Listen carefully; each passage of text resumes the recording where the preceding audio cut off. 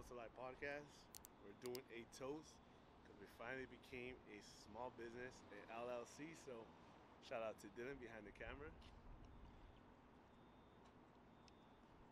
Stay tuned for this good episode.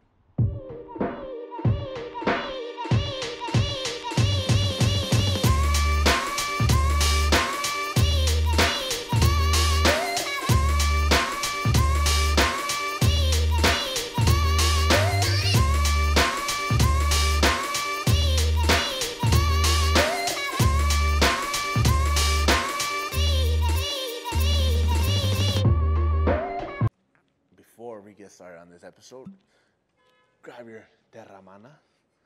Bam. Goddamn.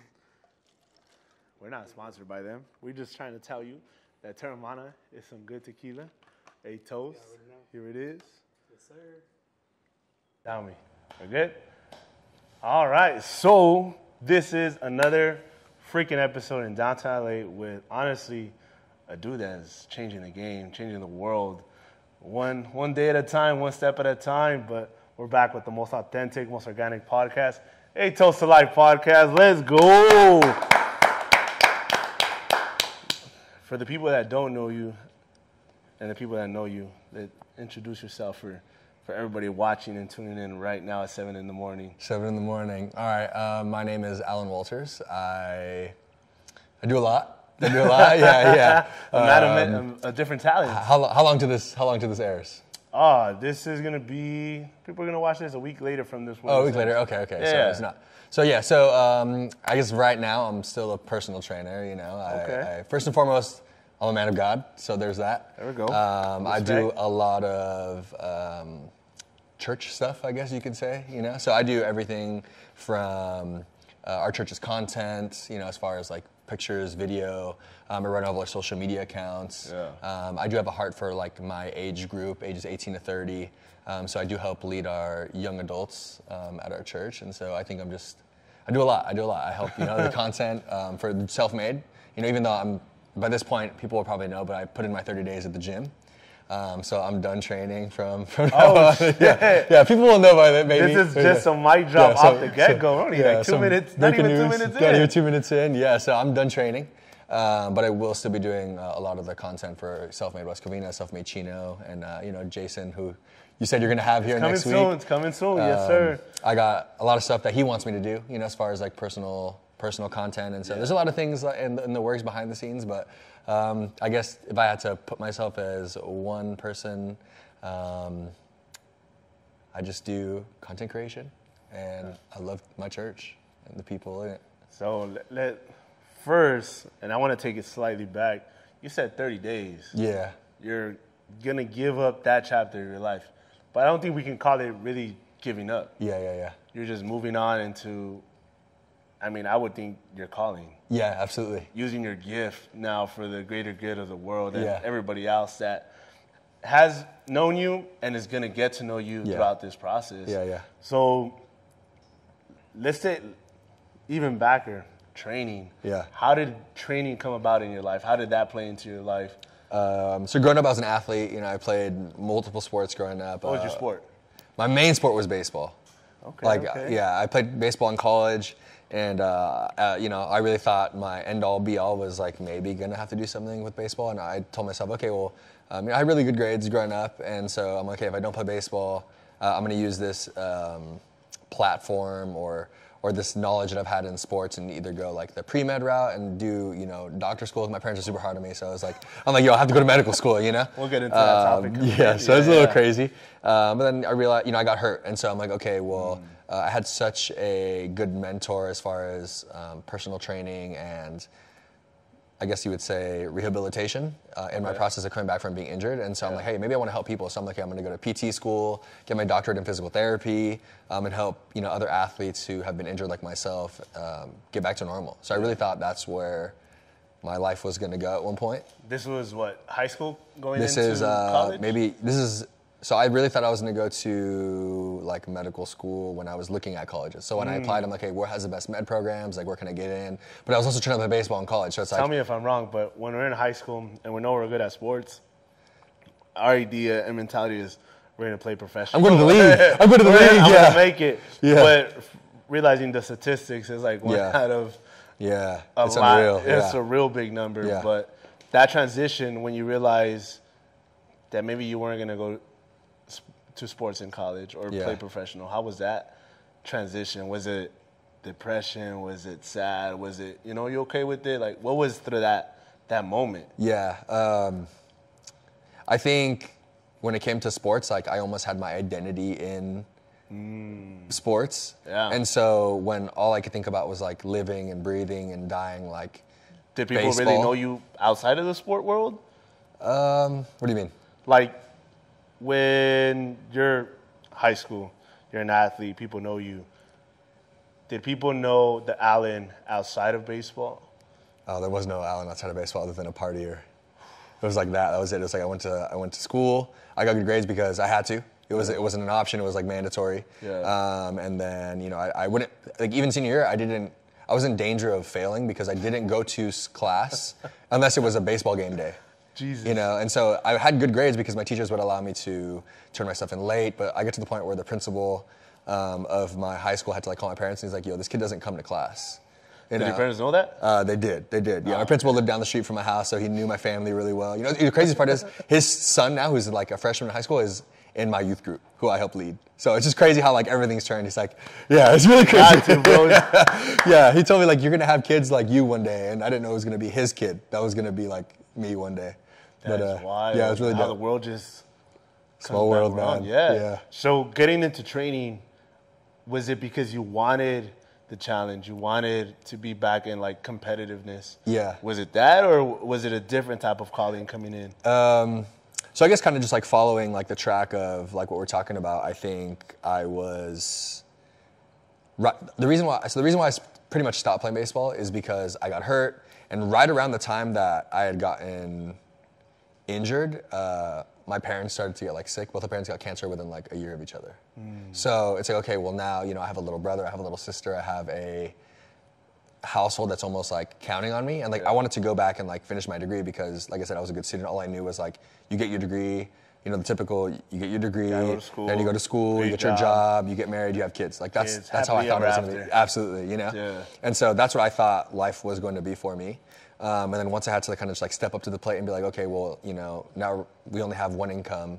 Uh, we have this house. We have multiple siblings in this house. Like I just need to step up and like at I'm thinking like 19 at this point just be a man and, and go to work. And That so it's like it's crazy you know Be a man, Yeah. right? Like I think coming up at during that age time, and we were just talking about this alpha camera, and we'll again, and I've said this earlier in the week that there's sometimes most most of the great conversations don't just happen on camera; they happen outside of the Yeah, camera. yeah. yeah. So throughout that age group, when they tell you, I mean, coming from a Hispanic household, hey, you got to go to work, you got to pay bills. Yeah. You got to stop. Basically, put your dreams aside, put your life aside, put whatever aspirations you ever had or thought about Yeah.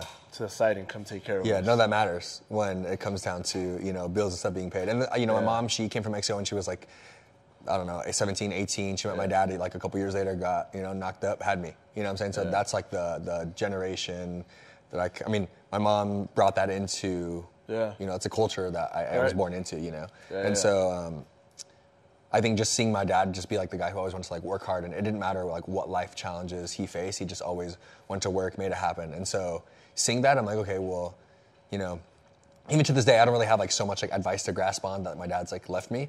I just see how hard this man still works to this day. And so at 19, I picked up I picked up on that. I'm like, yo, my family needs me to go to work.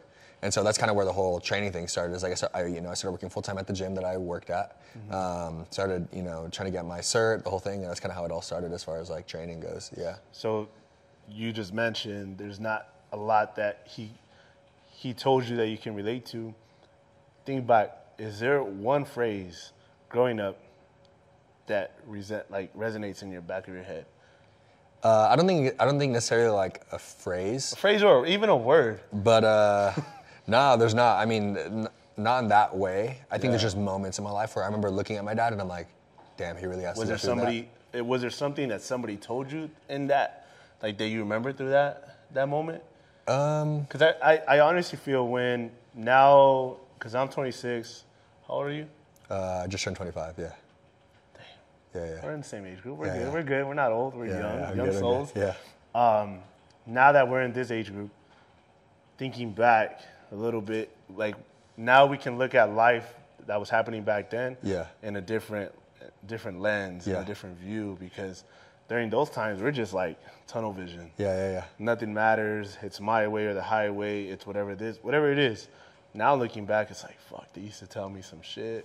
Yeah. Now I'm living through it. Yeah, yeah, yeah. I mean, I, I got that early on. Like, um, I would, like, for example, I got into like the whole fitness wave before it was like everyone had a fitness Instagram and all these things. I just loved working out, and it's because I just Yeah. had so much stuff bottled up all the time because I had to, like I said, step up to the plate and do things for everyone else. I've always like taken everyone else's you- anxiety you put and yourself stress second? and absolutely, yeah, absolutely, for, for sure. Put myself third, fourth, fifth, yeah, Did And that come so- in effect?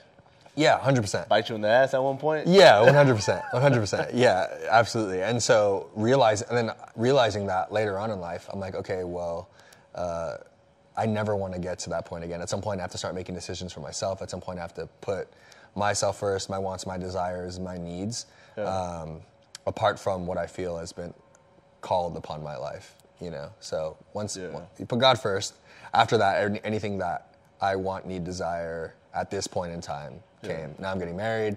Those her desires now become ahead of mine. You know, my family married? desires. Yeah, we get married in 12 weeks, 12, 11 weeks, 12 weeks. Yeah, yeah, yeah, yeah. Stepping up for the culture. You know. Yeah. Oh man, I'm not gonna let my girlfriend see this. Oh, yeah, yeah, yeah, gonna- yeah, yeah. She's gonna give me some This is- stuff. this is not Turn dropping anymore. yeah, yeah. yeah, you can take a break. Don't worry. Uh-huh. Cut that. Dylan, can we bring the tequila? Dylan, can we bring the tequila in the bang, please? Because what you just said, nah, I, that that's honestly one a blessing, right? Yeah, that you were able to find someone. The way I say it is not that they found me, not that I found them. They found me. Yeah. Like you know, at one point, our lives just, I don't know. Like they say, like if you put it out to the universe, Yeah. it it happens. Yeah. Were you asking to meet someone like this? Because there has to be like Yeah. my like I'm not trying to spark some flames or anything Yeah, yeah. or some issues, but there has to be something that's happening in our lives that when you connect, like you think about like fuck, this was this was at the perfect time. Yeah, yeah, yeah. So how did that come about? Um, at what point did you know I, I want to marry this girl? Oh, first date. Ooh, Yeah. Ooh. First date. Yeah. Yeah, first day, I, I had to text my boys, and I'm like, "Yo, like, I'm done. Uh, yeah. Bring the bring the bottle in the bank. Porfa. yeah." Uh, first day, I was like, "Yo, I'm out the game." Like, uh, I had, yeah, I wanted nothing to do with like getting into a no, you know, I was in a long-term relationship. uh, Bad for me. Didn't want anything to do with like women. Period. I'm like, Yeah. yo, like, I just want to do my own thing. Yeah. But no, forget about it. Trauma. Not, I didn't even get the chance to even. It was That like was it. locked it up. How long have you guys been together? Uh, it's gonna, where we at? like at least three and a half years. Three years. Three and a half years or so. Yeah. Man. Oh, Yeah. already. Said and done. Dylan's already here. You wasting no time, Dylan. Generous shot, not too much. All right, I'll do. down I'll there. do it. Well, don't worry. We'll, I just said to bring the bottle, but you served it. Perfect. you know, we're still out here trying to get more sponsors out here, so we got them. Philz, Um, Philz Coffee. Philz If Coffee. you want to sponsor me, There it is. I'm a pastor. We love coffee. The alcohol part is mine. It's Yeah. not even his. It's mine. Um, so, yeah, we'll save for. Uh, relax today. We're relaxed, calm. Um, so going through your whole process, getting married. What's a gem that you would tell? Like again, you're talking to people in our age group, younger, and even some that are older. That when we think about marriage, it's like, nah, man, it's not for me. Yeah, yeah, yeah. We come out with the idea, nah, it's not for me Yeah, yeah.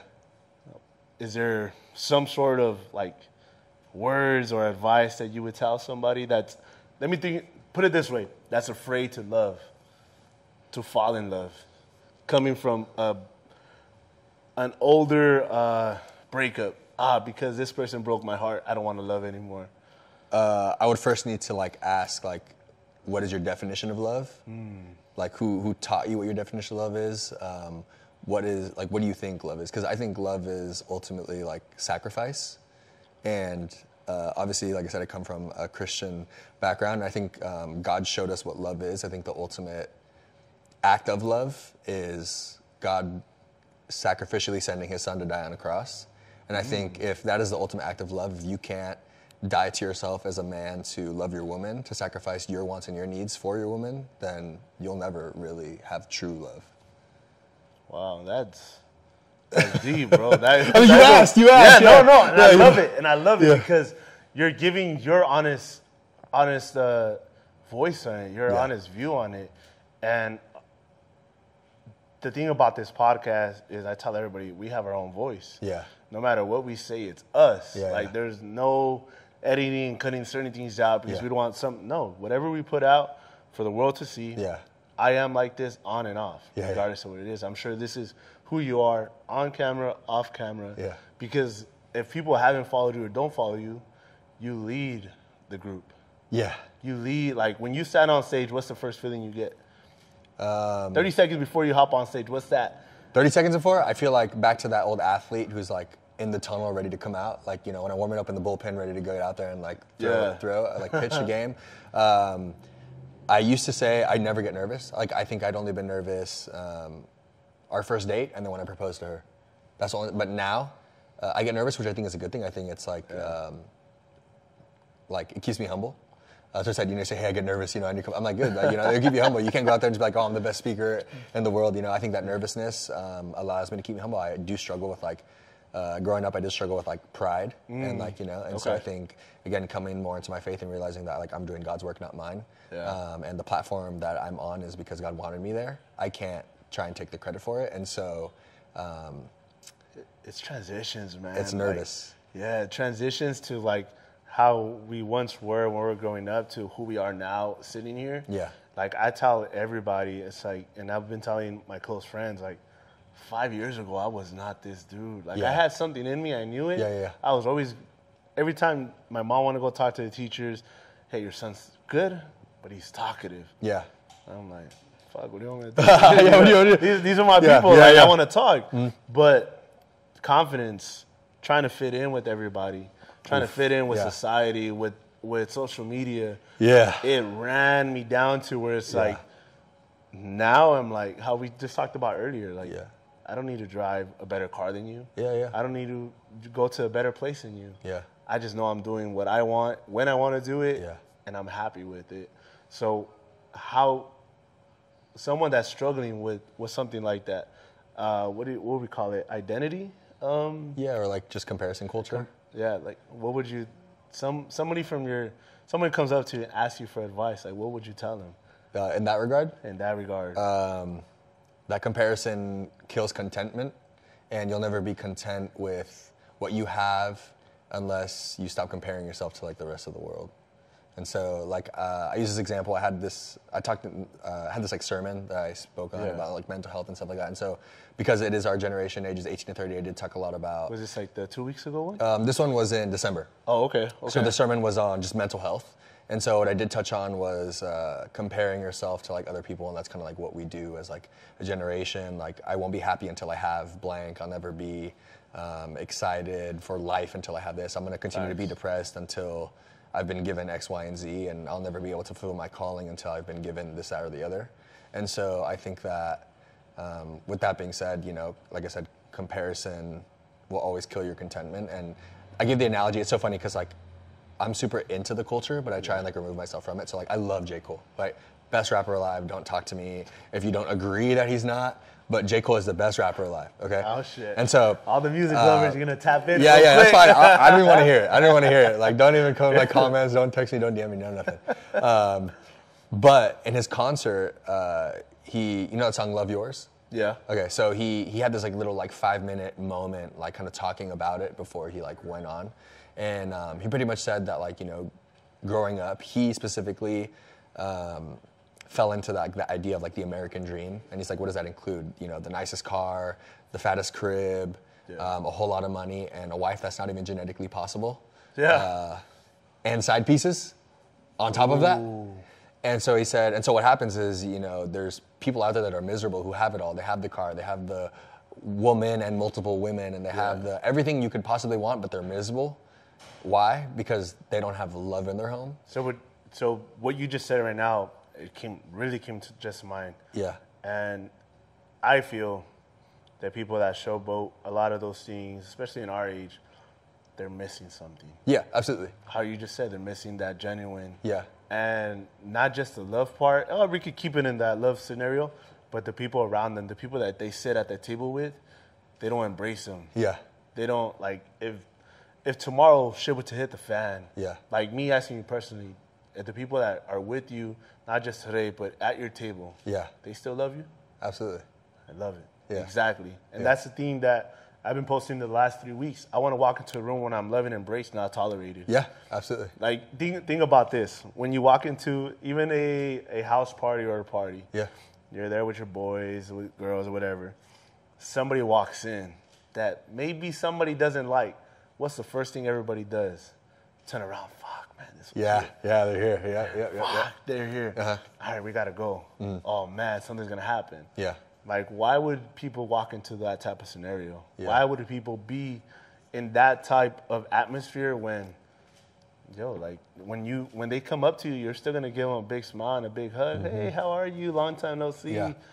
And it's just like now unapologetically, if I don't like you, it's just I'm gonna tell you, hey, you know what? I'm just gonna remove myself from the situation.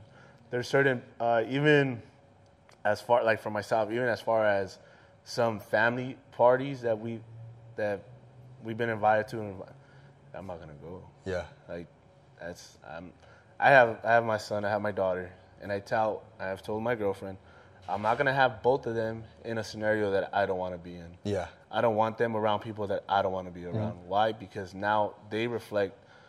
They're gonna reflect well, who I was and who I am, how Yeah. I carry myself. Why would I do that to them? Yeah, yeah. You know what I mean? Uh-huh. So I think our generation, our younger, um, same age and older, they have yet to find that genuine love. Like, Yeah. have you ever like? Are you a hug person? Like, you give big hugs? Yeah, I'm a hug person. Yeah, I'm like, oh, hi, uh, nice to meet you. And I'll give you a hug. You say, yeah, yeah. like, Yeah. I don't know what a, a handshake is. Yeah, yeah. And one of see one of my favorite rappers is Kevin Gates. Okay. Yeah. So his thing is, when I hug you, I can feel the energy that you're bringing. yeah. So when you get those little, and I always tell everybody, it's funny, and think about this. When you get those little side hugs, Yeah. How much are they like, they grab you and they hold on to you? Yeah, or yeah. how about they just tap you? Yeah, yeah. The ones that grab you and hold you, they want to embrace you. Yeah. The ones that just barely tap you, Yeah, yeah, yeah. they're just, eh, Yeah, maybe yeah. they don't want I have to. 'Cause I have to. Yeah. Because it's cool. So transitioning, finding, leaving now training. You're done with training. You're Yeah. old, not you're not over this. You're moving on to something bigger. Yes. How hard is to do that? To let go of something that's been a part of your life for uh, how many years already? I've been in like the fitness industry since I was like 18, 19. Yeah. So you're leaving something that you've been in six, seven years, Yeah. moving on to something bigger. Yeah. A lot of us don't let go because we're so comfortable, because we're so Yeah. I don't know what this will bring. How do you? How did you transition into this? Um, How did you just say, "Fuck it, I got to do this"? That's a good question. I don't think I don't think it was my choice. Mm. I think uh, giving you like I guess the context behind like how I ended up in this place. Yes, like please. I was killing it during COVID. I was like making more money than I could ever imagine. You know, being the 18, 19 year old kid who had to like stop going to school and had these like doctor dreams and all this kind of stuff. You know, Right. athlete, pro athlete dreams, and then it's like okay, well now I'm just like working and then working in the fitness industry. You know, and then Yeah. you know, crunch don't pay well. You know, and so then moving. I, yeah, that's where I started. Okay, And then cool. moving on to like somewhere like self-made um, and killing it there. You know, it was really cool to finally hit the moment of like, but like we're talking about, like I had all the things. I had Yeah. all the You had a cushion external. under your butt with all that green. Yeah, something like that, you know. Um, Yeah. So then, you know, I, I got comfortable and it was like cool and it was fine. You know, during COVID when everyone was struggling, like I don't want to be insensitive. Like I know it was a hard time for people, but like it was probably like the best time for me financially. Like I training outside and About my and- house and co- during throughout that. yeah, that time. and people and pe- time. people just wanted to train, and we were like one of the only gyms that were open, and so I was getting Oh, inquiry, inquiry, that. Inquiry, inquiry, inquiry, you know, and so um, I did really well, and uh, so I Dur- never really thought I was gonna time, leave. your brother came on, right? Yeah, I, I, I saw that. You're Yeah. like, got my little brother with me. And Yeah. I was like, Yeah, hey, there okay. now. Yeah. Yeah. So I was able to, you know, pass down. You know, he got his own clientele, but like just pass down knowledge and like, you know, here's how you do it. And so even if, even if like I'm like, okay, well, this I'm done with the fitness industry. Uh, I at least can't go back and say like it was a waste of time. Like I at least was able to pass down knowledge, clients, and and build a network. And So you can move on knowing you did everything Yeah. that Yeah, you yeah. knew you can do. So transitioning in, it was like, uh, client would move, client couldn't make it anymore, client couldn't afford it, client, and I'm like, wait a minute, like a client's starting to drop off, like doesn't make sense. And uh, right around this time is when I'm like super involved in church too. So I'm like, okay, well, I can lose a couple clients because I don't have the capacity to be a fiance, a trainer, a content creator, um, a, pa- a pastor, whatever you want to call it, right? All these things, I couldn't do them all at once. And so I'm like, okay, well, something's eventually going to have to give. And it's not going to be her. So what is it going to be? And so when these clients started falling off, I'm like, okay, cool. Like, that's dope. I don't have to like tell my clients to like kick rocks. I don't have to uh, step away from serving at church. And so I could do all the things that I want to do. Um, and so then it was like another client, another client, another client. I'm like, wait a minute, like this this is way too quick. And so right around the time where I was like um, comfortable-ish, like okay, well I'm not Yeah. struggling, but I'm not like making money. I'm not buying shoes every week like I was. I'm not going shopping every week like I was. Like we're not eating expensive restaurant every single weekend like we were. And so um, I think that around that time is when my church like needed more help, more of my assistance with like the social media kind of stuff, and so I kind of just stepped in. After a few weeks, it's kind of like, hey, we actually are gonna let let go of the person who's here. So would you like this job? And I'm like, oh, cool. Now an extra couple hundred ish, thousand ish, you know, some money, Some extra money, extra yeah, money coming in. I'm like, cool. That's part time. Like I get to get paid for the things that I was gonna do for I was doing for free anyways. so So. Yeah, so it was like for sure an answer prayer because I'm like, okay, I'm getting married. I the extra money would be nice because, you know, I want to pay for this wedding. I want to do these things still. We had vacation Hawaii, Tulum, all these things planned. And I'm like, wait a So minute. who's your content creator for the wedding? um, Matt and Savvy, Matt, Matt, Matt Savvy and Jesse Saavedra. You know them? Not at all, but it sounds The like boys are Jason? yeah, yeah. If you're if you're gonna if you got them, I Yeah, they did our, our engagement photos. So I don't know if you've seen those, but our engagement photos were cool. Uh, the, like the proposal photos on like the rock, you know, uh, the beautiful. Oh, They did cute, huh? Did you cry? Yeah, we did it. We like did it. We kind of held it together at You in the moment. cry? We both like choked up, and like so she she was like, I want to um, I want to like hear like the words you're saying to me because it's like a powerful moment. Mm-hmm. And then because she was not crying, it was it allowed me to like not really cry. Uh, but funny story is like you know we went to eat afterwards. We had that. Um, knocked out, went to church in the morning, and then had a, I threw her like a surprise like engagement party. So I took her to like the mall afterwards. We went shopping, came back, uh, had the party or whatever. And like at this point, it's been 24 hours and we still haven't spoken like about it. So like I pull in the living room like, hey, like let's just go talk. And before we even like got a word out, we just both started like bawling for like 30 minutes. Yeah. So like we didn't in the, in the moment we held it all together, but like in 24 hours later, bro, it all came out. Yeah. So it was funny, but. Gotta anyways, give it up, go bro. back. Come on. I'll give it up for myself. Oh, Yeah, yeah? I cried. Right. What were we talking about before? Before the engagement? For the engagement, we're talking Oh, the about transition. transition. Okay, yeah, yeah. So then, right when that happened, um, right when that happened, it was like, uh, okay, I'm in this like, I'm not, I'm not going hard, but I'm at a steady pace. Like things are manageable. I was able Yeah, to. because you're you're you added to something else, yet you're it's slowly slowing down for you on this side. Yeah, and so I had to tell myself, okay, from this point forward, I'm not taking any more clients. Like I'm done. Yeah. So now the curveball in all this is uh, I was gonna move to Texas.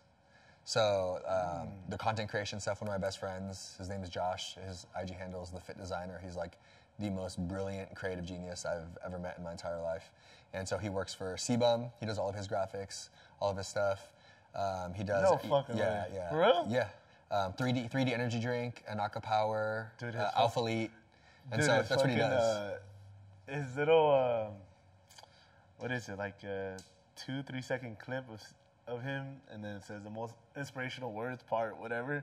Every time on TikTok. Every time. Every time on TikTok, and that's when you know something powerful is yeah, yeah, yeah. Steve, oh, man, he's, That's he's fucking great, yeah. crazy, but- so my friend works for for them, and so there's opportunities like popping up, and um, I was like, okay, well, I don't know, maybe I do feel like I'm supposed to go to Texas. I love it there. Uh, my best friend's there. You're a Uh, Dallas fan? No, heck no. Never mind. Are you? Yes. Oh, I'm so sorry. Uh, yeah, yeah. Life's been rough for you the last few. I got my boots ready, baby. Yeah, no, I'm not. I love Texas, but not that much, you know. Um, Yeah, yeah. So I was thinking like, okay, maybe I want to go. Um, I want to move. You know, it's a time for a new beginning. I'm getting married. It's like a good transition time.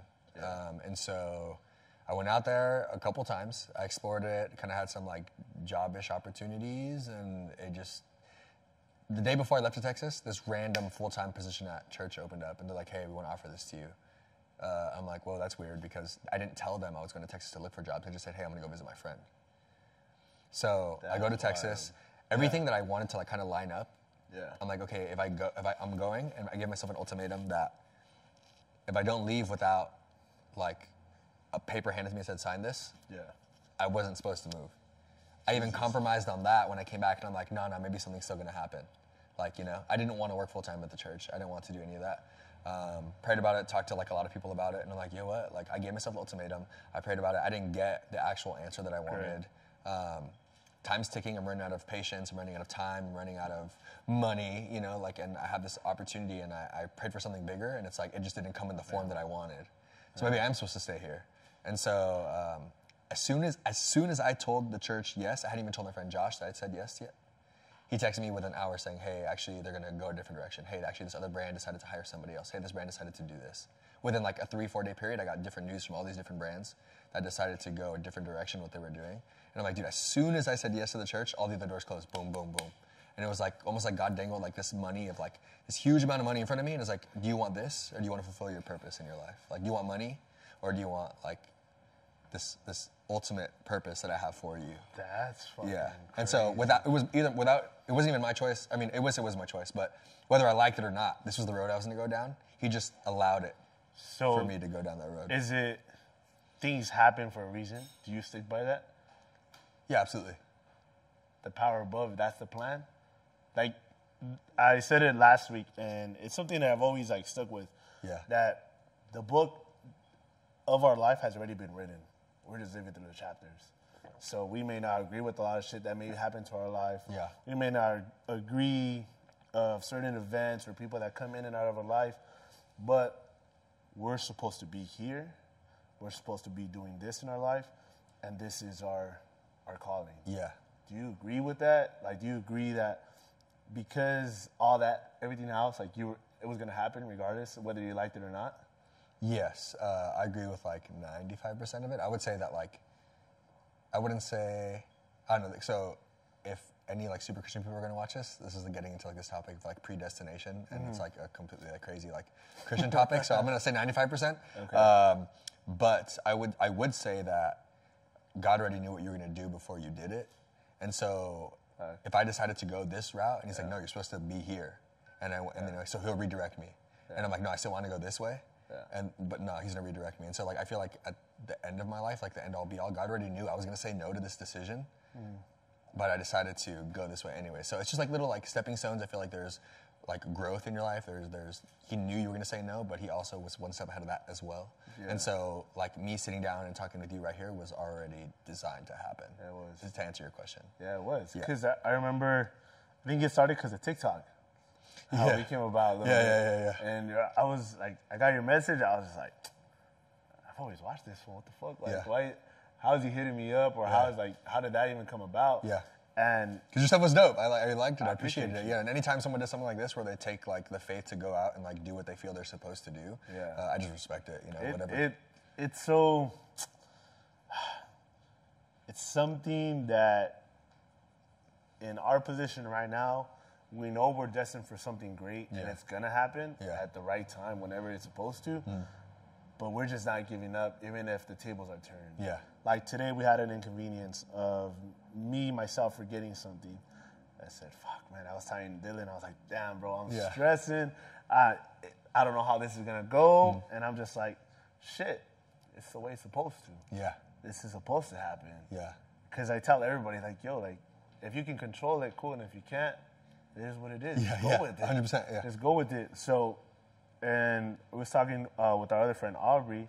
I'm like, dude, when I wake up, is just people think you wake up and you're just like, hell yeah, let's rock it. Yeah. Sometimes it's a little tough to get up. Yeah, man. And then you start remembering why you're doing it. Mm-hmm. You remember your why. yeah. What's your why? Her. Fuck. Yeah. Damn. Why is that? Well, I guess technically, to go way, way back, and you asked me a question like, "Hey, when you're going through all that, is there like a phrase or like something that you heard?" Um, I heard in order to get your biggest blessings in life, you have to leave what's comfortable. And in that moment of life, like I was extremely comfortable with everything. I wasn't happy, but I was comfortable. And I feel like so often, us as people are are so accustomed to staying in like that comfort zone because we're scared to see like what's out there, and we don't want to go out and venture off and see like you know what's good with the world because you know I know what I know what it's anxious It's feelings or, or, for or, you know I mean, for the people sitting here, like I don't know if we can all agree. Like, is it? It's scary for to get out of to get out of a sure thing to get into something that you have no idea what the return is. yeah and it can be in jobs, it can be in relationships. Like, if we go, so we're talking about relationships, it could be to someone having being something toxic. yeah I don't. ah, He's gonna change. She's gonna change. It's all right. Yeah. Cheat on me once, twice. It's all right. Yeah, yeah, You know, yeah. it- it- cool. We're in love each other. Yeah. It's gonna work. yeah It's like now when you talk to them after they surpassed it at their own time. yeah Man, it was the best decision I've ever made. yeah I'm finding myself, and that's the power of TikTok. Mm. Power, like literally, uh, shout out to uh, the two people that reached out this week randomly. I saw them in, in the hidden messages, and they're like, "Dude, advice on leaving a five-year relationship when caught her red-handed, and she laughed in my face." right? I was like, like, dude, how did how did this come about? Like, Yeah. you're asking us. Yeah. I was like, yo, like, you gotta do it for you. yeah You gotta do it for you. First of all, why are you even asking? You know what to do. Yeah. You know what to do. Yeah, yeah. But good. It's good that they're coming to you for that. Yeah. It, shows that you're doing and your then thing. the other one, I was at the gym. I'm just like going through a workout. Finally, Jose got here, as always late. But my boy Jose Uh, is Jose? here, trainer. He's good. so I was doing his three-hour program, like at nine at night, Uh-huh. going through my training, and I just get a message, and this guy was like, "Bro, ordered a shirt." He was like, "Dude, I just want to say thank you." I ran through your videos through TikTok, and it was at the most random but most perfect moment that he was going through depression for the first time in his life, and he ran into our videos. And he was like, "Dude, since then I start, I subscribed, I watched. Like I just want to let you know you have support from the Bay Area." Hey. I'm like, Yeah, that's what's up. Yeah. like this is really. I texted him right away. I sent it to him. Yeah. I'm like, bro, look at this. This Yeah. is really just happening. So, have you ever, and the last two three weeks, um, this is LA for you.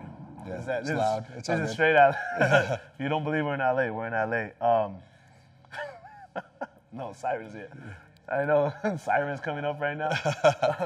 um, have you ever sat back, taken a moment for yourself, and seen everything you've done up until right now? Have in the famous phrase that I didn't come up with, I just took it. Giving yourself the flowers. Um, I don't think I allow myself to at this point. Like, I really feel like I haven't really done anything. Has he done something? right? I gotta put him on the spot. Do you think he has done something, is doing something right now in his platform? Yeah, I think I think I'm doing it. I don't feel like I've really done anything. I mean, okay, I would say okay. I'll answer your question. I don't think I allow myself to, but um, one of my one of the pastors who I serve with on you know on staff at church, he's like my mentor, like the first guy who I looked up to, and I'm like, dang, like going to church, I'm like, yo, that guy's super cool. And it, I mean, I guess I could see myself doing it because he does it and he makes it look cool, right? And so now we, fortunately, five six years down the road since I've been there, he he like mentors me. He allows me to do whatever I want, and I mean within reason of like, hey, like make this decision, do this risk. He encourages me, and he's like, I'm gonna be behind you no matter what decision you make. And so. Um, he pulled me aside. Same thing. It's so funny because he didn't know I was going to Texas yet. It was like that same week where I was going to leave, Yeah. and we had our young adults that we we um, meet once a month uh, on the Tuesdays at six thirty plug, and um, he pulled me aside and he's like, "Hey, like look at what you've created." Like, because I had the reason why I started is I had this like impression in my heart like there's no place ages 18 to 30. Kind of like we talked about, like you know, Yeah. if you're if you're a church kid, you grew up, you go you go to the kids, and then you grow up and you go to youth group, you're middle school, high school, and then boom, out into the real world. And like statistics show that like once you graduate from high school, like it's like I don't know if it's I'm, I might butcher it, but it's like 70 something pe- percent of people who grew up in the church once they hit like college or they graduate from high school um, kind of walk away from their faith or at least and then there's even uh, there's just another statistic that after that Yeah. after they get married have kids they realize oh i need to come back. So i don't know exactly what the statistic is but i just know it's not good. And i'm like you know coming for myself for like at that age gap i needed someone something Yeah. and you know i've been through it and now having a brother who's in that same time of age and i'm like yo like i said i can't go back and change my life but what i can do is prevent other people from going down that road and so during the young adults, he pulled me back and he's like, "Yo, like look at look at what you did. Like you said yes to something. Like you, you came up to me and said, "Hey, I think we need to do something about this age demographic." It's been seven, eight, nine months, almost a year now, and like there's 300, couple hundred people in this room, Yeah. all worshiping the same God in the same room with the same purpose Yeah. for the same reason, all because you said yes to something. Now look at all the lives that are being changed. And so, Facts. I guess to say I have done something, you know, but I don't want to even take all the credit for it. You know, I don't. I think I'm just doing. I think the biggest thing is you're at least trying. You're Yeah. doing something that, you know, again, it goes back to like even the podcasting. And there's a lot of people that are trying podcasts, want to try podcasts. Yeah, yeah. Oh, you know, one day I want, it's like, yo, but what's preventing you? What's preventing you from really doing what you mm-hmm. really want to do? Yeah. And it's going, again, going back to that unknown area. Yeah. I don't. It's because time, energy, money, business, all these external things. Yeah. And it goes back to the same thing. Yo, can you change it? Yeah. Can you take control of it and, and change the outcome of what's gonna happen? Yeah. Cool. If you can, balls to the Dope, wall. yeah. Go for it. Yeah, yeah. But if you right. Yeah. But if you can't, what are you worrying about? Yeah. And it, you know, now you're in this new journey. Give 30 days. You're gonna get married. Like on a, s- we haven't done this in a while, honestly. On a scale of one to ten, how like mentally, emotionally, physically, financially, like ten being best, you don't need shit. One being fuck, like you need some help. Uh, a 10. I'm content, bro. Like, everything's good. Like, I have people around me that love me. Uh, maybe, I mean, I guess financially I'm not exactly where I want to be, but I'm, I have enough. You know, I think putting in perspective of like, okay, am I really broke or do I just like have expenses? Yeah. You know, I'm not. And so, um, obviously, like, it's a natural desire of like human to like always want more. Yeah. Um, and so like, but if I really like humble myself back to like real life, you know, like Yeah. people will search up and down and like would die for the kind of relationship that I have. Um, it's cocky, but I, I mean it. Um, the, my friends and family around me, like my friends would do absolutely anything for me whenever 3 a.m. call them. I can always count on them to be there for me. Hey, I need something. They do it right away. Um, you know, I, I'm doing what I feel like I'm set out to do, what I'm called to do, so I can't even question that. Um, you know, we're all, again, we're always going to think the grass is greener somewhere else, but like the phrase goes, like it's only green where you water it. You know, so When you really invest your time, your energy, Yeah. put your love in. yeah, 10 out of 10, no question. Yeah, it's good. Fuck, I want to take a shot for that one. Yeah, that was good. Yeah. So if you're watching this again, you gotta subscribe. You gotta follow all the platforms that we have on, the pages, Yeah. right? Everything. So we're not ending, but where we at, Dylan? We're at 15 and a half. Exactly. All right, I'm gonna bring something up. yeah, Curveball. yeah, go for it. She said earlier, I didn't meet him this way. Yeah. Let's talk about the old Allan.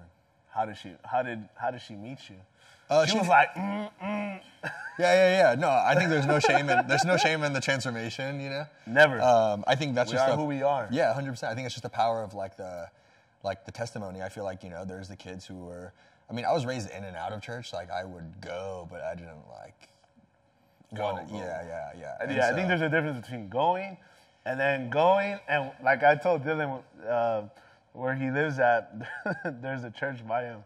I was like, damn, don't you remember after church those nachos was smashed? Yeah, yeah. You have the church, the little church memories. Yeah, yeah, yeah, yeah. You would, you didn't even think about the church. You're just like, yo, the nachos afterwards Nachos hit though. Yeah. Yeah, because I mean, again, that was just like a random thought, but you know, in that age group, like how you, you said, like we don't in and out. We didn't really. Yeah. We weren't really there. There. We're present. Yeah. We weren't really there. Yeah, so I think the power in that is I've I've done it all. Like anything you could think of, bad, done it all. I think now that what that does is, like I said, I can't go back and change it because I wish I maybe would have never. But at the same time, like now I'm much more relatable to the people who have been so far from God, and I'm able to like help bring them near. You know, Yeah. so um, the transformation, I guess you can say, like she didn't meet me necessarily this way. But the thing is, also like in ten years, she's not gonna even know who I am now. Like I'm gonna be hopefully a dad, you know, I'm gonna be a husband, and so she's gonna like learn to love me in a different way, or learn to get to know me in a different way. I don't even know myself yet in that way, you know what I'm saying? So I think we're just constantly growing, and if she were to, I think the issue would be if it was three, uh, you know, three and a half years from now, and she said, oh, he's exactly the same. That would be the problem. I think he, she should be saying, I didn't meet him this way. So you think people should change every year? I don't want to say should because uh, you know who am I to tell people, but I think if you're not constantly like growing or evolving or doing something, I think there's there's an issue there. There was a Mayweather phrase in one of his uh, documentaries. If a week, a month, days, year passes and I'm still the same, I wasted time. Yeah, I agree. You know, uh, Katt Williams. Yeah. Okay, so you know, like I said, I'm not perfect. I'm, I'm in the culture, but I try not to be it. But he said if if you've been selling uh, weed for 10 years and you ain't moved up to cocaine yet, uh, I'm in the wrong place. You know. he said something like that. You know, he's like, if it's been 10 years and you haven't moved to cocaine yet, like I'm not messing with you. Dude. You're in the same spot as you were. You know, so Yeah. to bring a little culture into it, I, I think like you know, I think we do need to progress and we do need to grow. You know, maybe not, maybe not on the corner selling Yeah. selling it, but you know, the analogy's there. You, know, you get the gist of it. So now the people that are tuning in and have relationships, now because she's here and maybe her facial expression will say different. Yeah. Is there a compromise that you got to make? Yeah. Is there things the that you saw that this is what you wanted? She came into your life. You guys came into each other's lives. She wanted something different. Was there a compromise, or did you stick to your guns? Did someone give Um, up something? Like, how is that that um, balance in a relationship? Yeah, I think kind of like what I talked about earlier is like you know the the sacrificial. Um, I think she's a whole lot better at that than I am, especially at the beginning. I was like, what the heck? Like, uh, I'm the guy. Um, what I say goes. Um, I'm a very like I can be stubborn. You know, I think over time I've like softened that, or she's softened that, and um, so I think you know it's compromise every day from like the little things of like. Uh, where do you want to eat? You know, those little things. You know, you've always been beefing with your girl over where you want to go. What do you want? Yeah, yeah. Anything, and then it's like, well, this. No, not that though. No, You not know, that. Yeah, yeah. So things Uh, like can go that. anywhere. Do you want to go? Here? No, I don't. Yeah, yeah. So you know, compromise is there. Um, but I think like you know, no relationship is perfect, and then when you get into like the nitty gritty of like, dang, like I was probably wrong here, or even if I wasn't, I'm just gonna go ahead and say I'm sorry for like, dude, I'm not. I'm sorry person. Yeah. I'm not. I even to this day, like I've learned to be only because like okay, I don't want it to affect like later on. I don't want to create like that habit, that habit, the pattern that people get into in their relationships. It, it, but it, as even in high school, throwing out I'm sorries Yeah, got played out. In my opinion. yeah, Meaning, like, if you're in an issue with your with your girlfriend, boyfriend, whatever it is, if you're watching this, remember those times when they Yeah. would fuck up. Oh, I'm sorry. I'm never gonna do this again. yeah, Bam. Do it again. do it again. yeah, I just think that when you're saying I'm sorry, it's just for the satisfaction of the other person to hear it. Yeah. But there's no really no mean behind it. Yeah. Like I think if you're gonna say I'm sorry, it really has to one just come from you alone. Yeah. Compared to someone telling you to say sorry. yeah, You know, and I think, I mean, relationships is just, it's a work in progress, right? yeah. Like, what would be the key key advice for someone in a relationship? When One when, key, or- one key, Uh, for when? like uh, let's say meeting a new meeting in quote in quotations the one when you feel like this is the one. Are you talking like, okay, let me, because it depends on the person. Go for Are it. you asking me like, because at church people ask me this question, and my answer at church is different than my answer like in the real world. So like er, in the real world, but in Outside of church. outside of church, I would say um, you have to create like your standards, and I feel like so peop people are now are so ashamed to be like, oh well, I only I only want this. I mean, it's not, it had to be realistic. Like you know, you want six six NFL. You know, it's like you know now you're being ridiculous. but you know, have those things that like your your non-negotiables. Like, hey, I don't do you know yelling when we argue in a relationship. You know, and I don't do these things. So as you progress in your relationship, it's like, hey, you bring it up, and if it does, if it continues to happen, like just walk away. You know, like I think even first couple dates, like you get to know them, and I think instinctually, like you know, do I want to continue to get to know this person or not? And a lot of times people are like, well, he has a status, or he looks this way, or he's super handsome, and so these girls they continue to go on these dates, and then it's like, hey, you had the red flags there, but you decided to bypass them. Um, so I would say like a lot of the times your intuition's right, but we ignore it. And so if you're starting to get to know somebody, um, there's that. Now, if I'm in the church, the again advice that's been passed down to me is pretty much um, one: do they love Jesus? They don't. You have no business being in a relationship that doesn't have the same values as you, who doesn't see. Because again, the reason why I think our relationship works so well is because we both have the same idea of what love is, and you you have might have one idea, and you know she may have one idea, but if you can't come to terms on that, you're never going to agree on anything. Your relationship's never going to work. Um, and then the, number two is, do they make you more like Jesus? And if they don't, then you're really wasting your time either, because you know you can find a girl that says she loves Jesus, but if she's not making you a better person, I guess you can take that out of like even church too. Like if the person you're with doesn't make you a better person, you have no business being with them because being with her, I'm like, okay, like she said, I didn't meet you this way, but like because of her, I wanted to become better. And if you can't become better in your relationship for yourself, you can't be better for her. You know, so yeah. Damn. no, honestly, um, w- everything you just said, everything, all the knowledge, all the views, advice, and to me, I call it advice because it's something that you went, how you said, that you went through, Yeah. and you're just here passing it on. Yeah, yeah. You're the voice for, and I said it earlier, um, earlier in the week. You're, we're becoming a voice for the people that are silent. Yeah, absolutely. We're becoming a voice for the people that can't and don't want to speak up. Yeah. So it's like it's again, it's like social media because we hear it from somebody else. Yeah. Uh-huh. Doesn't mean we didn't know this. It just means they said it and we just thought about it. Yeah. So we're bringing everybody's thoughts into what somebody is saying now. Like we're now this person said the words. Yeah. Now he said it. Now she said it. Now we're just we're living. We're how do I call it? We're literally living testimonies Yeah. for what what life is. Uh-huh. What do you think life is This life, I think. right now? I think Outside of the church, big boy. No, I, I mean my, my life revolves around that. You Yeah, know? So yeah. I think like I mean sometimes I can like compartmentalize, but like a lot of times I think this church is really just uh, temporary. I think you know because I do believe in God, and I do believe in like what the Bible says. I think this is just like I don't want to like minimize it, but I think this is just like a playground, and it's chill. But like real life is in heaven. So Okay. yeah. So I mean it's cool. I mean uh, that's why it's like Yeah. I don't say it's easy to like learn how to compromise, and it's easy to learn how to love somebody, and it's easy to learn how to navigate their life, and it's easy to you know snap my mental health back into order because I'm like I just remember that like all this is temporary, and I'm in full control of what I'm in control of, and I'm, what I'm not is probably because God has His hand over the thing that I think I'm in control of, but I'm not. Facts. Yeah. I think, I think it's just it's. They always say the two things that you don't talk about anywhere in public is religion and politics, right? Because there's a whole big thing. Yeah, yeah, yeah. But literally on the way here in my head, I'm like, yes, it's a it's a red flag, right? Because we don't know what the other person will say. Yeah. But I think when you have two people that are understanding, mature, can have a big conversation. Yeah, 100%. You know, I know I walked out of a situation, not even a situation, a scenario where we had different views, and when we ended, hey, bro, I still love you. Yeah, yeah. Appreciate the conversation. Yeah. And like, nah, yeah, bro, what do you, what do you? I'm like, because usually a lot of people Yeah. cannot withhold, withstand a big conversation. Yeah.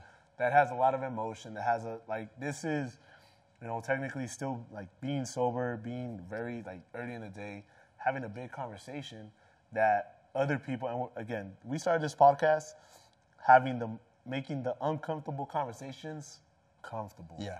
Like whatever you wanted to ever talk about, no one could talk about it. We're talking about it here. Yeah. We're doing it here. Why? Because this is the platform. Yeah. This is a place where it's just you. It's not. It's not scripted. You didn't walk in here and be like, "Yo, I'm gonna ask you these questions." Yeah, yeah, yeah, yeah. Happen. It's like I tell everybody, like, "Yo, we're gonna walk in. I got no idea. See what happens. See what happens. yeah. See see what Yeah. Mm. way we flow. See what way we go.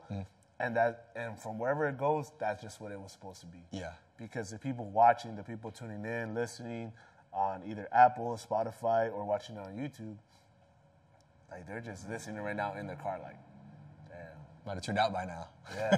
Nah, hell no. I, if they're listening to you, definitely not tuning. Like still tuning Yeah, in. yeah. Where we at right now? 26, almost getting to 27. Damn, we're good. Yeah. Yeah, we're. Yes. No, hold on. So, hold on, my big guy. Hold on, big guy. For the people watching, Yeah. Before we end this and everybody subscribes, and I hope you already did, what would be a piece of advice that you would give them? Like, if they're struggling right now, they're battling something, battling their demons, and there's not enough light in their in their life right now. Practical advice, like one thing you could do right now. Right now, like they're um, struggling. Just find the thing that brings you joy, and just do that. It's really like simple. I mean, again, I can I can give you like some like preachy biblical advice, but I, I think when it just comes down to like the the general person, it's like I think. Um, Right, like when I was going through like my worst time in life, the one thing that was always there for me was the gym, and it sounds shallow, but like I needed the hour, I needed the hour and a half, and and those things can become superficial. Like, okay, well, like, do I look good? Do I, you know? But at the end of the day, like, uh, I'll always work out no matter what, regardless if I'm a trainer or not, because that hour, hour and a half is like therapy to me. It's my happy place. It it, it brings me joy. Yeah. And so at the end of the day, no matter what, like hard time, good time, bad time, whatever, like the gym's always been there for me, and I've always taken that with me there. And so um, for some people, it could be drawing. For some people, it could be painting. For some people, it could be writing music. For some people, it could be walking your dog. Like whatever that thing is that brings you like real life contentment, uh, literally do that. You know, and it sounds like very like again shallow, but uh, without getting too into it, you know, I think really just like find the thing that makes you happy Wrong with it. and run with it. Yeah. Damn. That's fucking. Hold on. I'm gonna pour myself one more. um. That what? Uh, says my trainer that. Oh man, Jesus. You still have one poured up. You got your coffee. But if you're tuning in this much, and if you stay tuned in after this long, Yeah. right? We're almost at an hour. Um, I hope whatever we said right now helps anybody listening Yeah. in some sort of way, good or bad. Yeah. And if you don't like us, hopefully it changes not to be like us. Yeah, yeah, yeah. And if you love us, hopefully it start your own podcast if you don't like us then and see if you can do it better. How about that? Exactly. So with that, grab your. If it's early in the morning listening to this, grab your coffee, grab your soda, whatever you're drinking, pour it up. I'll take a shot with you on camera. I don't care. I don't think the church will hate me. Hey, toast, man. Cheers. I appreciate you, guys.